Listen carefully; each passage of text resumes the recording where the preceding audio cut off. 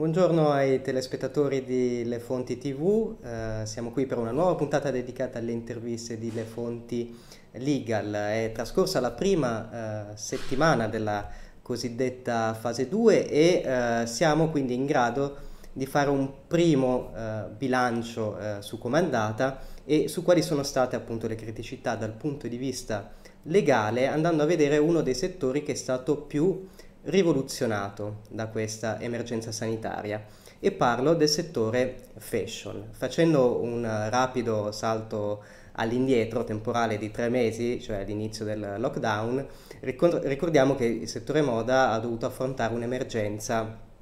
eh, diciamo molto eh, impattante, eh, sfilate ed eventi eh, cancellati, eh, saracinesche delle boutique e dei punti vendita abbassate e eh, la necessità di dover riorganizzare il business eh, ritagliandolo appunto eh, su misura su questa fase eh, emergenziale. Possiamo quindi vedere quali sono le, le, criticità affrontate dal punto di vista legale, come sta andando questo inizio di fase 2 e quali sono anche eh, le, pro- le problematiche grazie al nostro ospite di oggi che vi presento e che è Sara Citterio, Corporate Affairs, Legal e Compliance Manager di Trussardi. Buongiorno e benvenuta, Avvocato. Buongiorno, grazie dell'invito. Ecco, grazie a lei eh, per essere qui con noi. Facciamo quindi eh, il punto inizialmente eh, da, dall'inizio, partiamo dalla, dalla, cosiddetta fase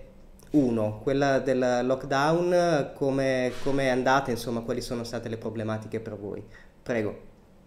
Sì, grazie. Beh, noi prima diciamo della fase 1 abbiamo, abbiamo avuto una fase eh, meno 1 nel senso che eh, comunque il Covid aveva già iniziato ad avere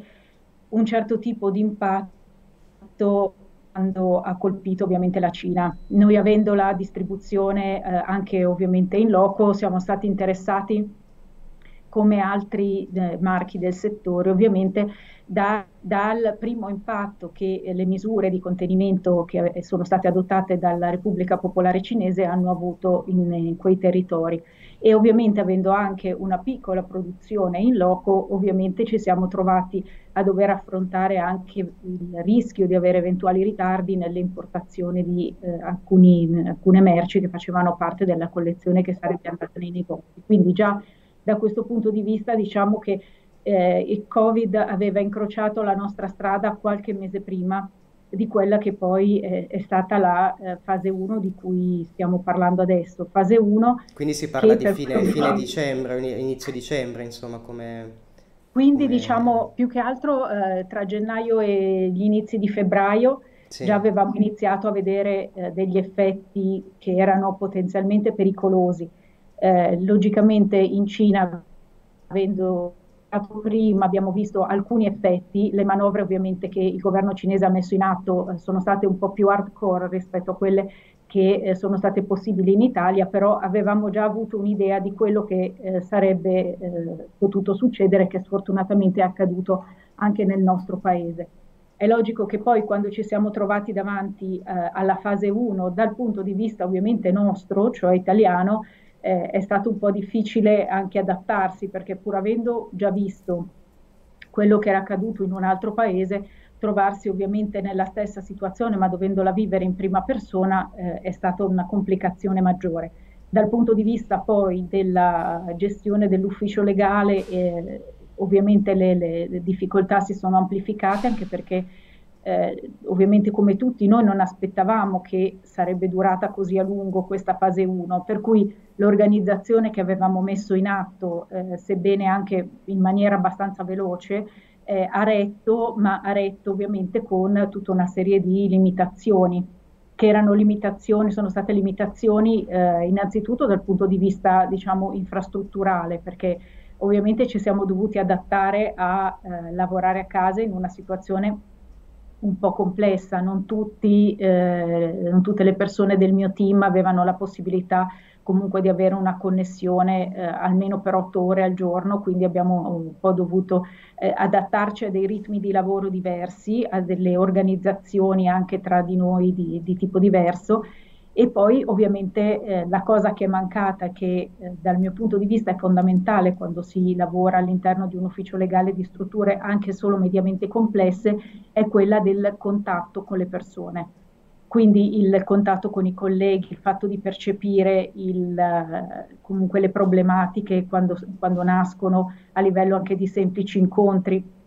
Io lo dico molto spesso che a volte eh, diciamo, la percezione di una problematica legale di un determinato progetto può nascere anche semplicemente da una conversazione fatta alla macchinetta del caffè. E queste sono state cose che eh, ovviamente sono mancate di più nella fase 1 proprio perché la lontananza ha fatto sì che eh, alcuni legami che si sono instaurati nel, nel, corso degli anni si siano un po' venuti a perdere proprio per la mancanza di contiguità tra le persone. Quindi certo. sicuramente questa è stata una delle criticità che abbiamo dovuto affrontare insieme poi a tutte le criticità, diciamo così, di tipo tecnico che abbiamo dovuto eh, risolvere. Prima tra tutte, ovviamente, eh, quella della chiusura dei negozi. Noi abbiamo eh, anticipato, sebbene di un giorno, ma abbiamo anticipato proprio perché avevamo eh, comunque la necessità di tutelare sia i nostri collaboratori, ma sia anche i nostri clienti, ovviamente, soprattutto loro, anche eh, da, dai rischi che si stavano manifestando da, da questa esplosione di, di, problematica epidemiologica, quindi abbiamo chiuso un giorno prima i negozi con eh, una decisione sicuramente molto rapida e fatta un po' eh, alla cieca, che però poi eh, è stata successivamente eh, appunto seguita dalle disposizioni governative e che è andata avanti fino al 18 di maggio. Quindi questo ha comportato sicuramente la gestione di una serie di criticità nei rapporti ovviamente con le controparti locatrici. E questo non è stato sicuramente semplice anche dal punto di vista di supporto che l'ufficio legale dà a eh, coloro che poi hanno dovuto interfacciarsi a livello tecnico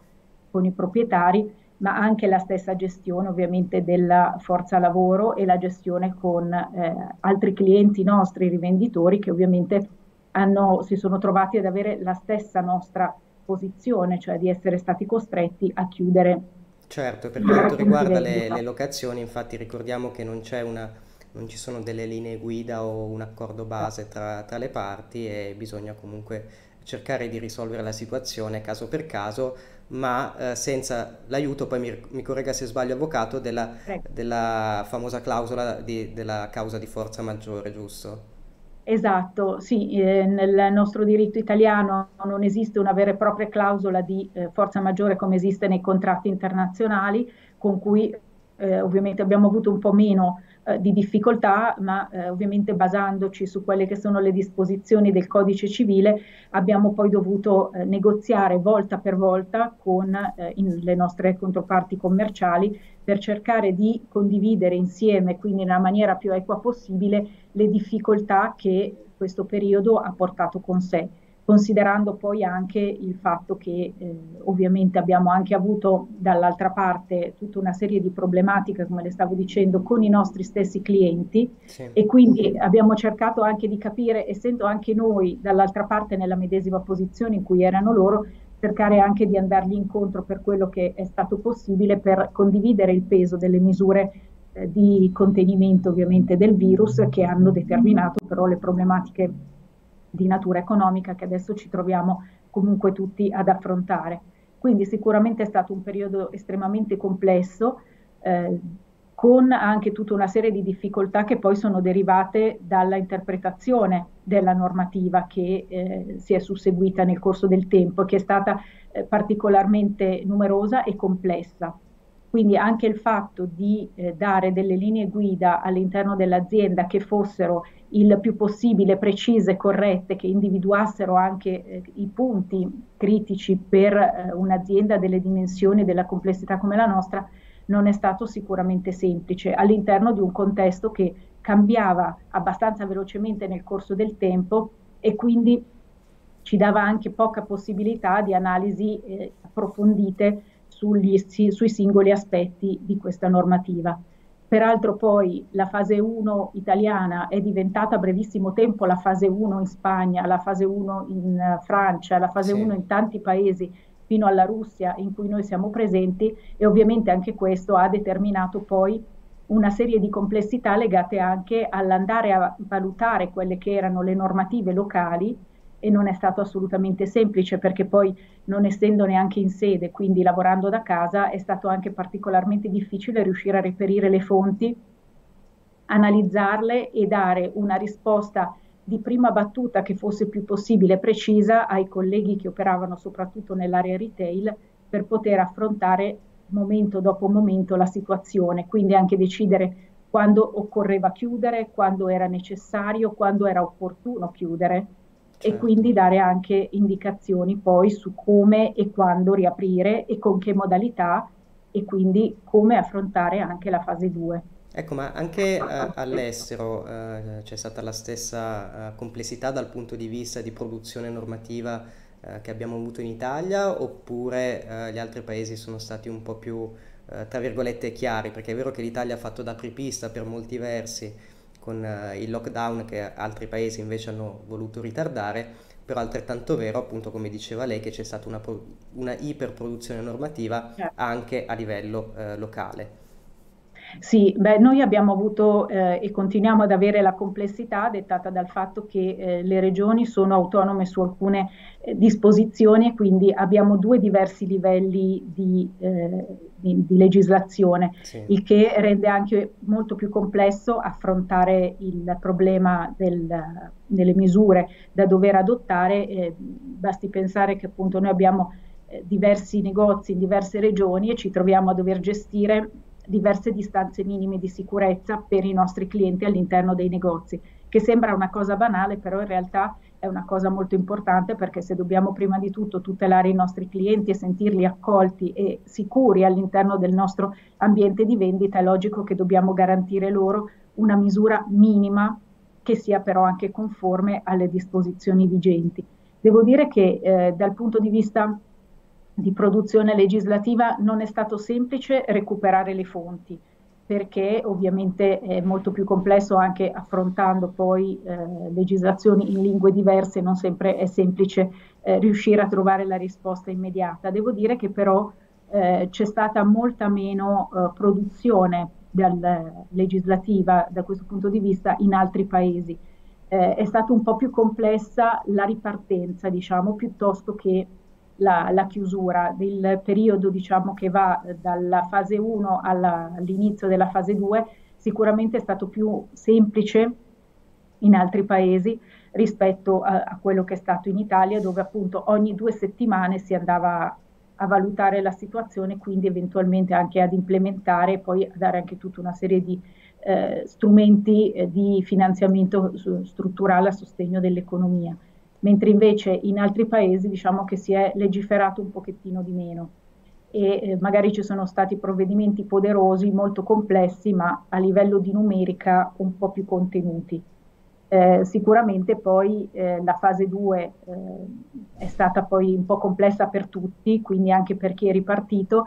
Devo dire che noi siamo stati, tra virgolette, un po' più fortunati e forse un po' più preparati perché eh, i primi negozi che hanno riaperto sono stati negozi austriaci, noi avendo un punto vendita in Austria abbiamo anche potuto valutare come sarebbe partita la fase 2, quindi quali erano le misure che ragionevolmente ci saremmo attesi anche in Italia e quindi da questo punto di vista ci eravamo anche un po' più preparati in anticipo rispetto ad altri. Tenga presente che in Austria sono ripartiti il 17 di aprile. Sì e eh, quindi noi già il 17 di aprile avevamo una visione di quello che sarebbe potuto accadere anche in Italia, siamo stati in grado di approvvigionarci di tutta una serie di eh, strumenti di protezione individuale che sono comunque diventati obbligatori anche in Italia, che era ragionevole pensare che lo sarebbero diventati, ma l'abbiamo già visto adottato in un altro paese, quindi abbiamo eh, avuto questo vantaggio, per cui eh, siamo riusciti a eh, fare scelte anche di protezione per quello che riguarda le mascherine piuttosto che i disinfettanti da tenere nei negozi, le modalità per segnalare ai clienti le distanze di sicurezza che ci ha forse un po' più facilitato rispetto a chi magari attendeva le disposizioni normative italiane, non aveva visto quello che era successo in altri paesi che sono ripartiti leggermente in vantaggio rispetto a noi, anche perché hanno avuto ovviamente un carico eh, epidemiologico diverso rispetto a quello che abbiamo avuto in Italia e quindi si sono magari dovuti adattare eh, negli ultimi giorni. Quindi da questo punto di vista forse il fatto di avere un outlook su più paesi ci ha anche leggermente aiutato nella ripartenza.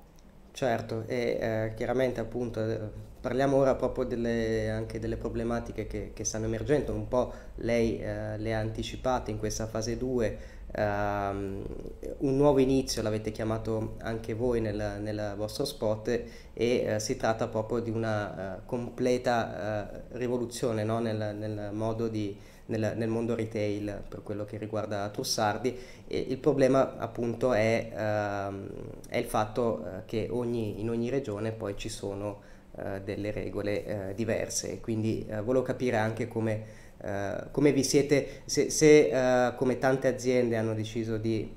comunque fare un po' ehm,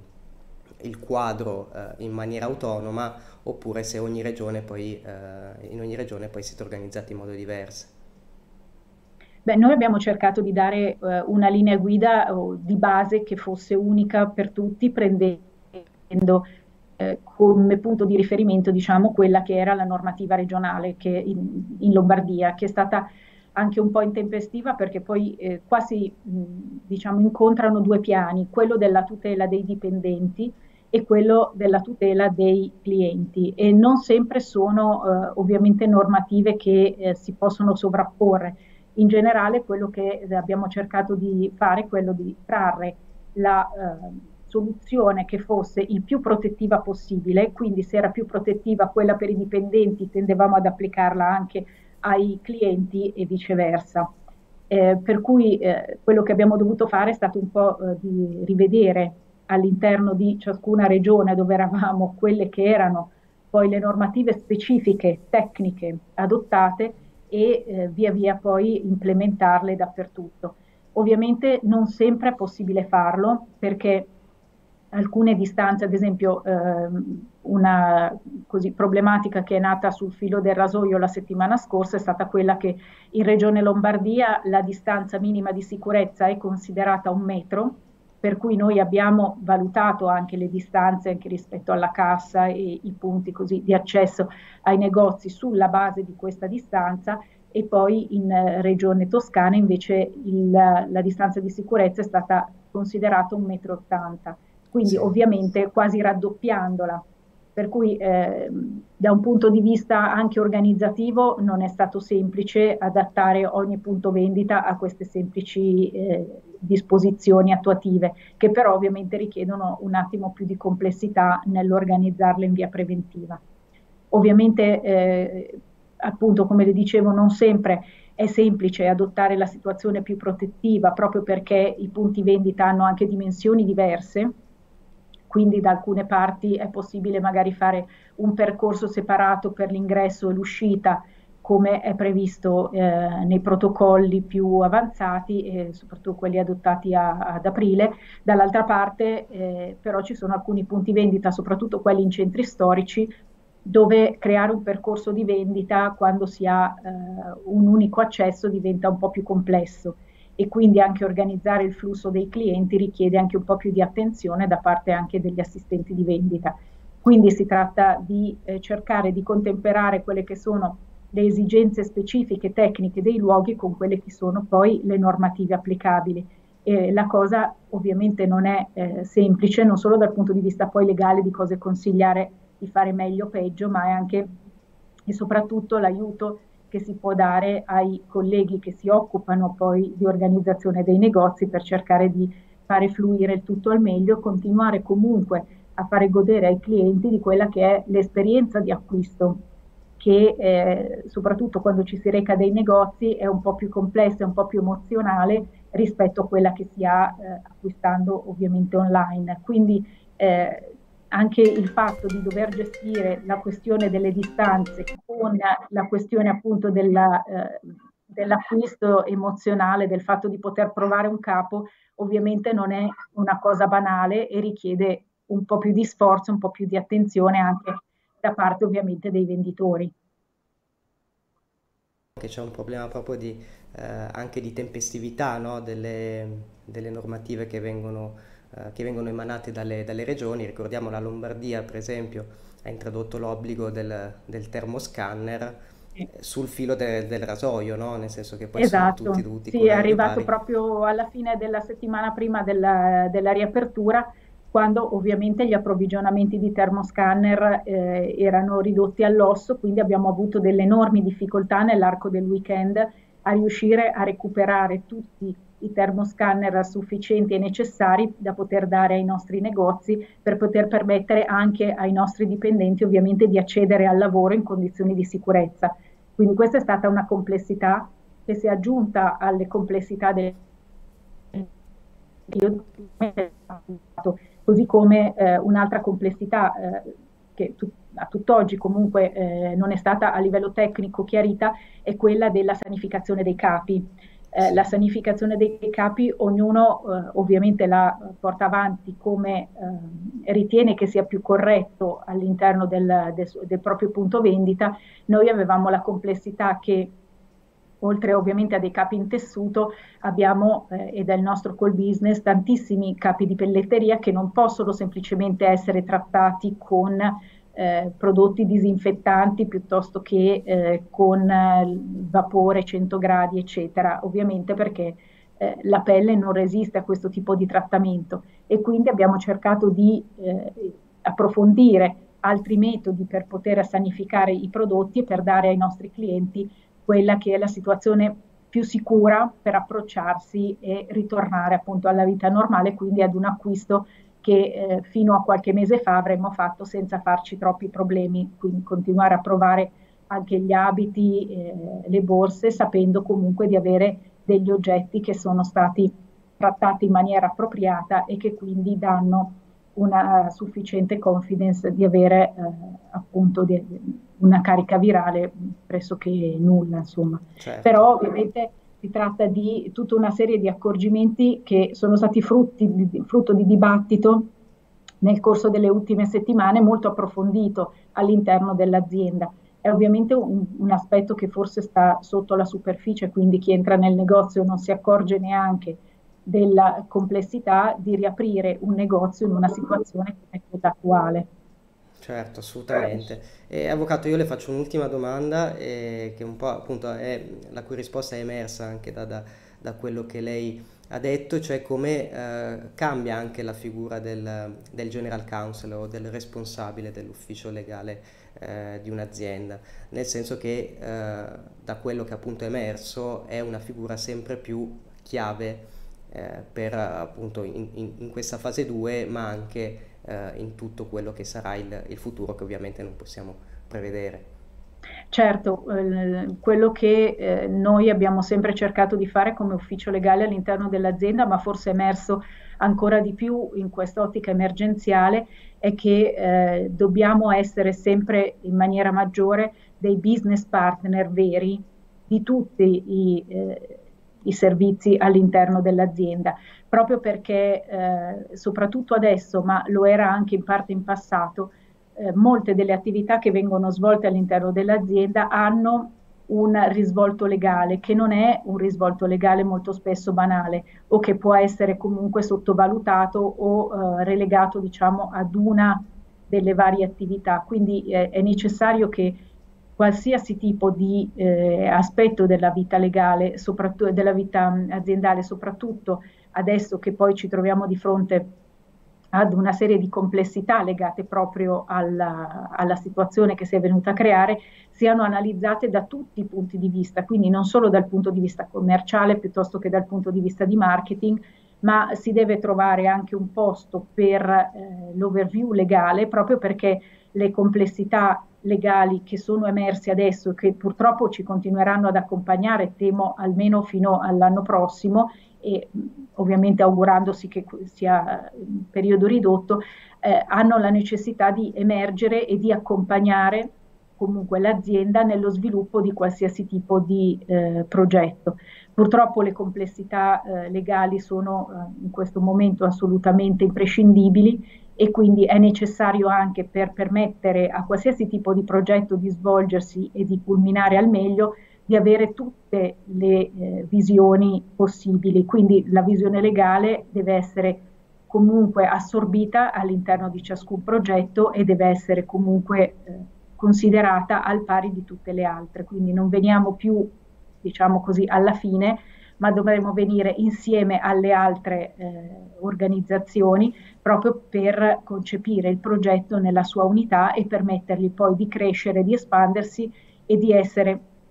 applicato senza che ovviamente l'azienda incorra in problematiche. Esatto, perché esatto. infatti la, la, la, la, corretta applicazione e interpretazione delle, delle, norme, che in realtà chiare eh, non sono, eh, poi eh, determina proprio anche la, la parte di responsabilità eh, dell'azienda che può esatto. essere anche, anche, penale. Avvocato, io la ringrazio molto per essere stata con noi, per il suo interessante contributo. Grazie a voi. Le auguro un buon lavoro e un saluto anche ai nostri telespettatori appuntamento alla prossima puntata. Grazie.